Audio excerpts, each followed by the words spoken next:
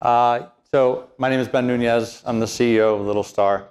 Uh, Littlstar is a content distribution platform for virtual reality and 360 video. Uh, we really enable content distribution across devices, uh, in headsets, on mobile. Um, we are live on all of these platforms today, Samsung Gear VR, the Oculus, uh, Android, iPhone, on the web, uh, and we enable sort of the distribution of this content across devices for consumers uh, to discover, watch, and share. You simply uh, will be live on, on the Sony Morpheus or Sony PlayStation VR and the HTC Vive uh, in Q1 and Q2 of, of next year. Um, we are aggregating sort of the premium best content from uh, all over media, from Discovery Channel to DKNY and PBS, uh, Michelle Phan, uh, Wargaming, um, Disney. There are a number of different content uh, companies that we're, we're aggregating content from through a number of different ways and then uh, distributing that. Um, I love this slide. We, we got a kick-ass team. Uh, we're based here in New York. Um, we, you know, virtual reality, augmented reality experts, a bunch of repeat entrepreneurs with successful exits, uh, math geniuses, some of the best engineering talent in the world, and uh, we got a New York hustle that just can't be beat. Um, but let's talk about some virtual reality. Uh, this wasn't one of our finer moments in virtual reality, um, but uh, I think the most poignant aspect of it uh, is that virtual reality is uh, about to change the world.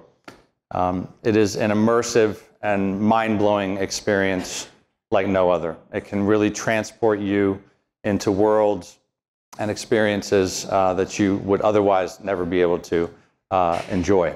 Uh, it actually feels like you're, you're really there. Um, over the next several months, the uh, consumer headsets will be launching. Uh, the Gear VR by Samsung went on sale for pre-order last week and will be shipping this week. Uh, the Oculus Rift and the HTC Vive will go on sale, consumer versions, uh, in Q1 of next year. And the Sony PlayStation VR uh, will be right around in, sometime in Q2. Um, the market for VR, um, you know, this is from Digi-Capital. They, they forecast it's a $30 billion market uh, in the next four years. Uh, a lot of gaming, of course, uh, some hardware, software, content, across various categories, but really nobody knows. Um, everybody's guessing. None of this stuff has come out. Uh, we have yet to sort of experience anything like this before, so everybody's guessing.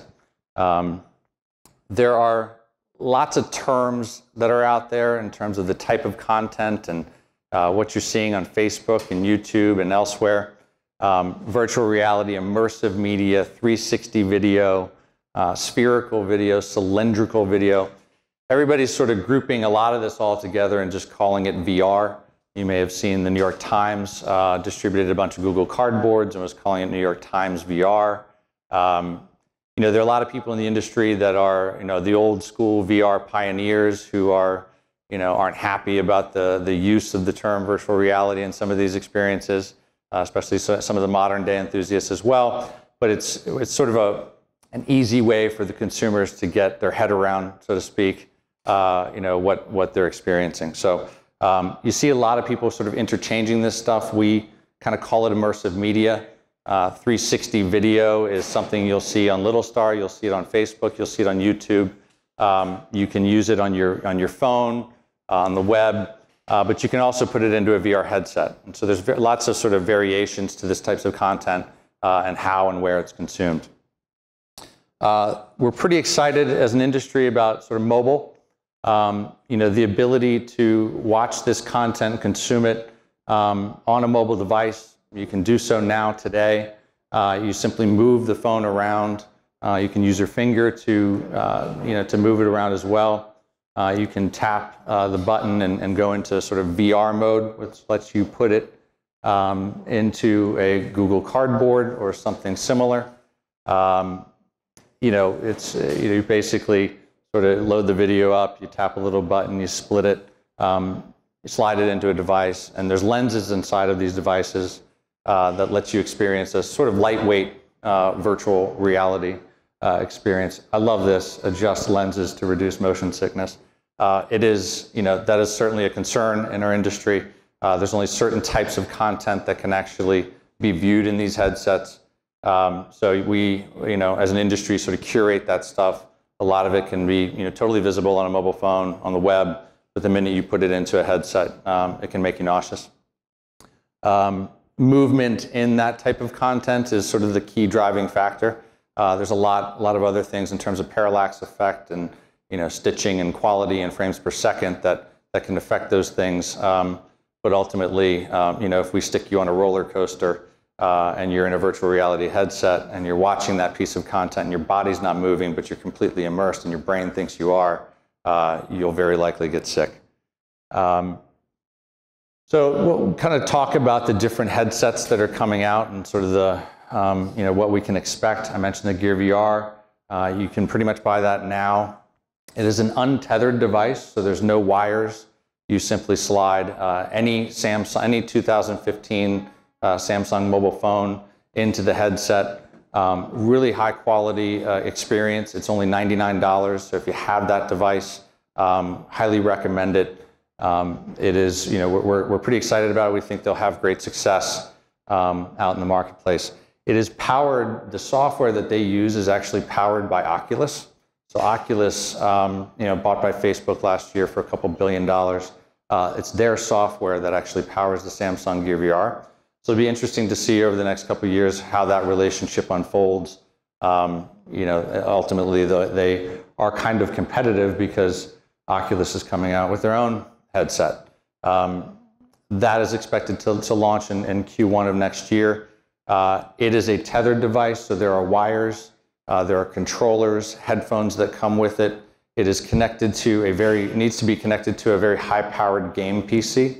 So um, you need to have a, a, Windows machine that you know has enough uh, RAM and processing power uh, to be able to you know to power this the the Rift. Um, so you know we think that market's going to be sort of nichey early on. Um, along with the HTC Vive is the same thing. You need to plug that into a pretty high-powered game PC. Although the experiences are phenomenal, um, they are more immersive than than you may imagine if you haven't experienced them yet. Um, the, one of the biggest differences between mobile VR and sort of the, some of the Samsung Gear VR uh, experiences and these devices is uh, something called positional tracking. So from the outside, they use cameras to detect where I'm standing and uh, in real time can uh, compute that information into the headset. So if I lean in, I actually feel like I'm leaning in inside the headset. Um, whereas in other ones that don't have any sort of external positioning positional tracking, uh, you move around and, and, you don't actually feel like you're moving around inside the headset. Um, so these create incredibly immersive experiences, um, you know, beyond what we're able to do with a mobile phone. Um, the HTC Vive specifically is really what we're calling room scale VR. It's kind of the modern day home theater. You need a, a 10 by 10 room uh, because you can actually walk around inside and, and, and you know, feel like whatever you're uh, looking inside at, looking at inside the headset is where you're walking around. Um, so we, again, we think it'll be a, a, sort of limited market with the HTC Vive and the Oculus Rift. Uh, I'd say the one we're, we're really excited about is the Sony PlayStation VR, uh, formerly called the Sony Morpheus, which I thought was a cooler name. Um, it is uh, just connects up to the PlayStation. So again, it is also a tethered device. Um, but there will be, by the time the PlayStation VR launches next year, there will be 50 million headsets in the market. Uh, we think that seeds uh, an incredible you know, base of consumers who can buy this. Um, the price point will be attractive. They can bundle it. Uh, Sony can make their money elsewhere. And so we think the adoption of the Sony PlayStation VR will be, um, will be higher than everybody else, with the exception of maybe the Gear VR. Um, Adoption of these headsets, sort of similar to the market size, we really don't know. Uh, everybody's kind of guessing. Um, I mentioned that, you know, over the, you know, we expect that, you know, roughly 30, we've heard 40 uh, more million headsets in the market in the next four years. Uh, we think the, you know, the, the tray-based headsets, these ones that you can slide your phone into, uh, will be a substantial size of the market. Um, the, the Rift and the Vive, sort of on the lower end of that size.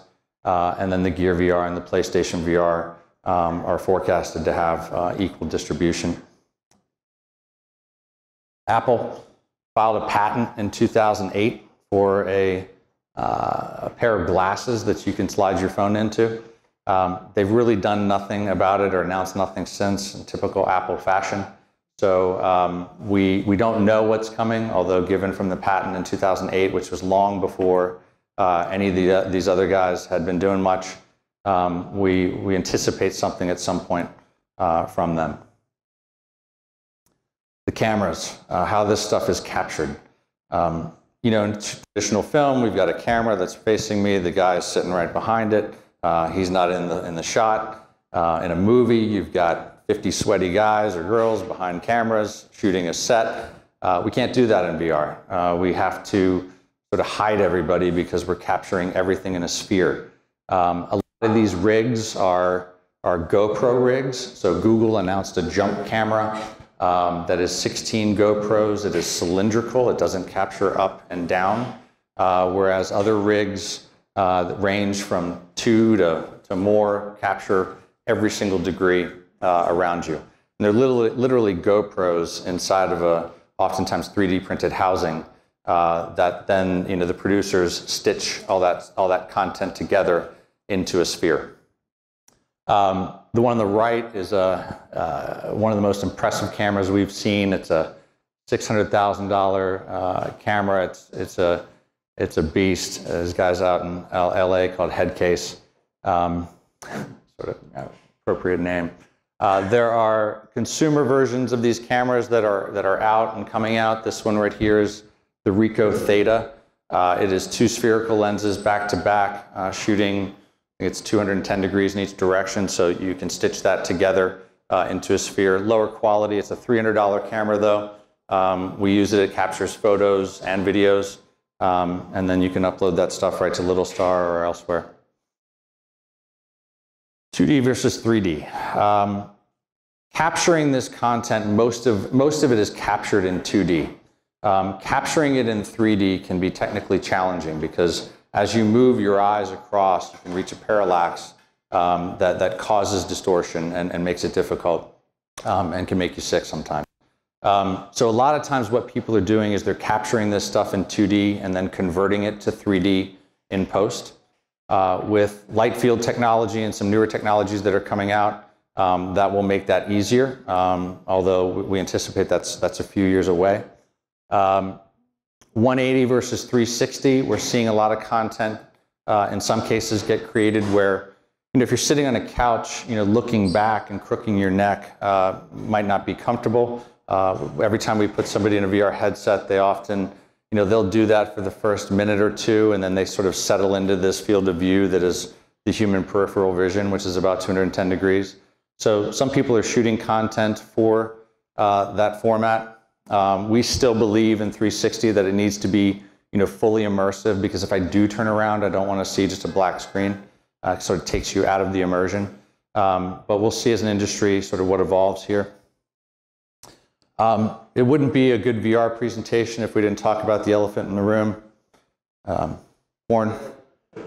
Um, you know, it's coming, it's here on the, on the heels of the sort of 180 and 360 and 2D and 3D. Uh, most of it's, uh, you know, 3D 180. There we talked about porn. The evolution of storytelling uh, also kind of needs to, by the way, Littlstar has nothing to do with porn. Um, sorry uh, you know, the, the evolution of storytelling, I mean, we really need to uh, evolve how stories are told. Um, you know, the consumer doesn't now control, or the, the director doesn't control every single aspect of where people are looking anymore. I can look over here, I can look everywhere. Um, and so stories need to evolve. And, um, you know, the industry as a whole is trying to figure that out. And, and a lot of the early content was sort of fly on the wall stuff. They'd stick a camera in a room and capture this and expect it to be compelling, uh, and it really isn't. And so, um, but narrative content is starting to emerge uh, and get better and uh, leverage the 360 sphere in, in really interesting ways. From, you know, with FirstMark, we might as well talk about VC investment in, in, um, in the industry. Um, from 2010 to 2015, uh, 45% of all investment in VR has gone into the headsets and peripherals. Um, 53% has gone into content creation, so the cameras, the stitching software, the tools, actual content. Um, only 2% has actually gone into uh, distribution. Um, of course, that makes sense because we've had to uh, first create the, the ways of capturing this content. We have to give consumers the way to consume it. Uh, distribution as industries and mediums evolve usually comes a little later. But if we compare that to television, uh, the displays, that's a $25 billion a year industry. Content creation is 37 billion, and content distribution is a $130 billion a year industry. There will certainly be uh, some of the incumbents who will uh, enter into this space, and, and, some of them already have. Um, but, but we see huge opportunity uh, in the distribution of, of, of this type of, of, content. Augmented reality. Uh, a lot of people believe that ultimately we're headed towards um, a world that, that is more augmented than virtual. And uh, the glasses that we might wear uh, will be just like the glasses you guys are wearing. Um, but that will allow us to augment our, our world around us or completely immerse us uh, and go into a virtual experience, um, which we're calling, calling, people are calling mixed reality. Of, you know, this is expected to be a much bigger, the same report that forecasted virtual reality at 360 or $30 billion uh, had augmented at 120 um, over the next several years. So, so really a huge industry. Uh, the big players behind that are Magic Leap. They've raised, um, you know, half a billion dollars from the likes of Google. They're raising even more uh, now, uh, rumored to be, you know, another billion. Um, Microsoft uh, is really going all in on the HoloLens. Um, this is an, an, augmented reality device. So um, this is kind of where ultimately over the next several years uh, we think all of this is going. Um, so thank you. Appreciate your time. Um, that's it.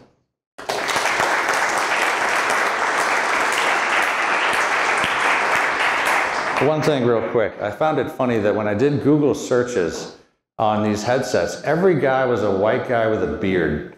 And uh, I don't know, it was just like the first things that came up. It was the same guy over and over again. I don't know what it was. It's pretty hot, if you ask me. Yeah. Um, Tell us about the Littlstar a little more. So this, this was, by the way, fantastic uh, sort of overview of the market.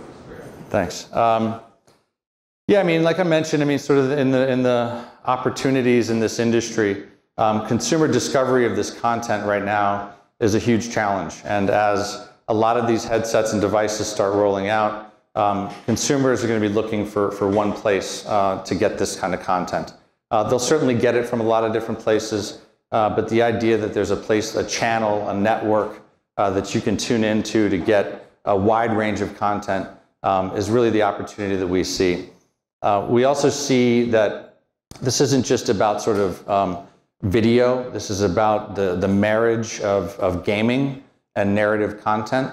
So games are pretty hardcore. You, you, you have to know what you're doing. You have to um, learn the controller. Um, but interactivity in virtual reality and the ability, the ability to actually choose where you go, change stories. Um, we're working with, with companies who are creating a, a, zombie movie and they want you to be able as a consumer to control uh, which weapon you slaughter the zombies with. Uh, you don't actually physically, you know, sort of use controllers to do it, but you get to choose the story along those lines. And we'll start to see some of the economic models actually creep in there uh, from gaming into, into narrative content and storytelling. So a lot of the efforts that we're putting into this, uh, into this company are going into sort of you know, the next evolution of this. Certainly there's huge opportunity uh, today with uh, you know, the phones in our pocket and the billions of those devices around uh, the world for us to, to bring this as sort of the gateway drug uh, into, into proper VR over the next couple years.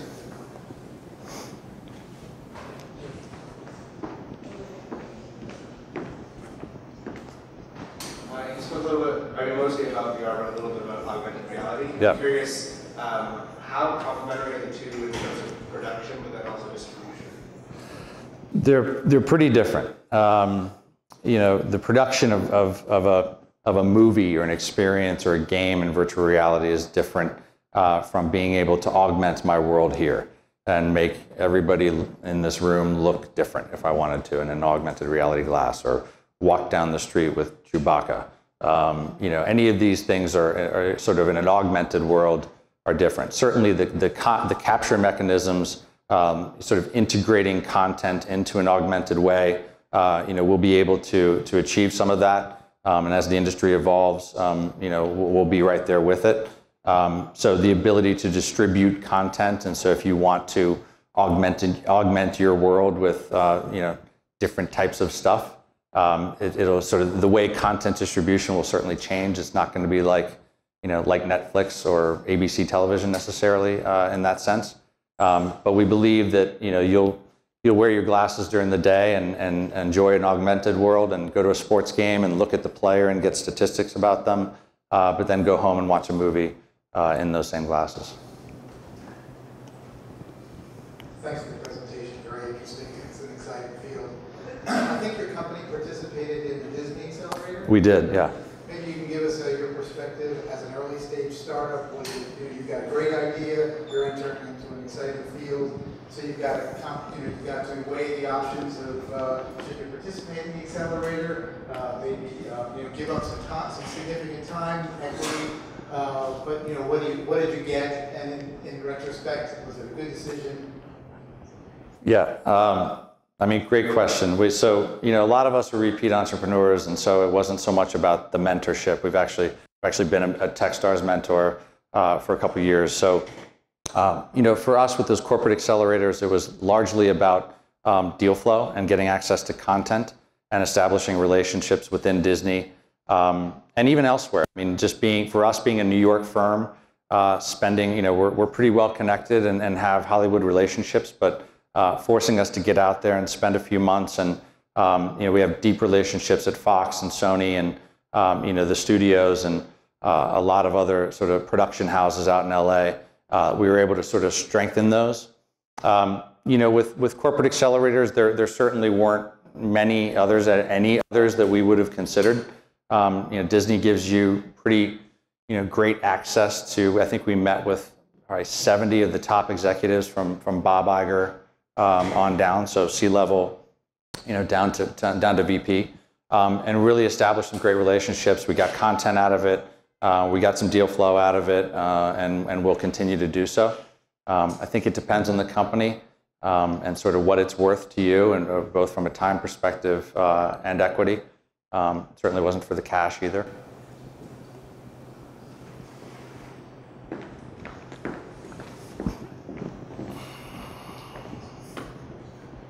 Because um, it seems that VR, VR, mostly, at least the way it's describe for gaming or telling stories, other kind of application for business, education, yeah. more collaborative between multiple people. For example, for, for business, having a meeting where you are in your home, but actually you can see everybody that you are meeting. Absolutely. I mean, um, you know, AltSpace uh, is, is a company working on those types of social experiences, uh, Second Life type experiences as well. Uh, the ability to be sitting in a room, in a conference room, um, you know, with, with, headsets on and actually feeling like we're all in a room together, although we might be distributed across the world.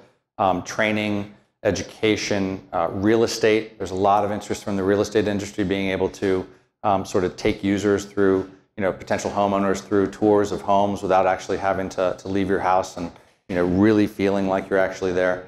Uh, I think there are a large, you know, there's a wide uh, base of use cases uh, for virtual reality and augmented reality. Um, we're focused on media and entertainment primarily. Um, and so, you know, in, in a few minutes, that's what we, you know, what I just spoke about. But, you, but you're absolutely right. There's a, there's a wide base of, of opportunity in VR. And I think you know focusing in for you know you'll see a lot of companies.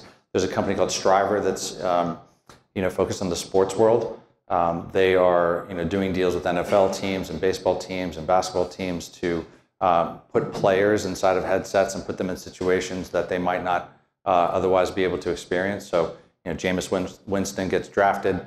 Um, you know, put him in a headset and let him know what it feels like to have the linebackers coming at him, have him read, you know, receivers and defenses downfield. Um, those types of things are, are here now and they're happening, um, and they'll continue to evolve.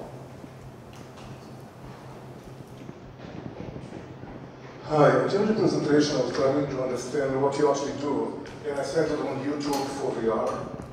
So the question It's a, it's a fine analogy. Uh, YouTube, Netflix, Hulu, uh, Vessel, Victorious, any number, I mean, there are a number of billion dollar companies who have, um, you know, created distribution platforms and discovery platforms for video. Um, VR is a completely new medium. And so everything associated with it, from analytics, um, you know, to how the content is consumed is just totally different. And so we, we, are, we are following a similar, um, you can certainly make those analogies. Um, you know, but uh, we, we believe that there's a fundamental difference between what YouTube is doing uh, and what we will be doing. So tomorrow YouTube announced they are starting a VR channel, do you feel that they are a behemoth or something that actually to There, there's unique dynamics there. YouTube is all about, you know, is, is strongly pushing cardboard. They will not have an app, or they do not have an app inside the Samsung Gear VR. So, um, you know, at least not currently. So, um, it's a big discussion to sort of talk about the differences between what, um, you know, uh, YouTube is doing and what other opportunities exist inside of VR for content distribution. Um, there's a lot that, that we do on the cinematic side and storytelling side that we're that we'll be releasing in the coming months that um, you know they don't have and, and aren't going to be putting that time in. They're fighting battles on a lot of different fronts. Um, it's a big conversation to have, um, which I'd be happy to talk to you one day about. But All right, yeah, thanks. yeah, sure. One last question.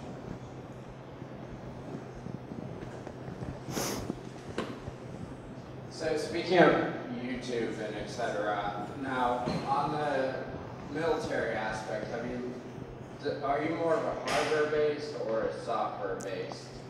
We are purely software. Yeah, we are content distribution. It is purely software. Uh, so you can download our apps on any of the hardware platforms. Relying on the um, like entertainment industries, are they using any new technologies in the you know headsets as they call them, such as optics or et cetera? Yeah, I mean, every one of these headsets has their own optics and, and new technologies, and, and you know, I talked about positional tracking. Um, you know, there's a lot of new stuff that's going into these and uh, into these headsets. Yeah, yeah, sure,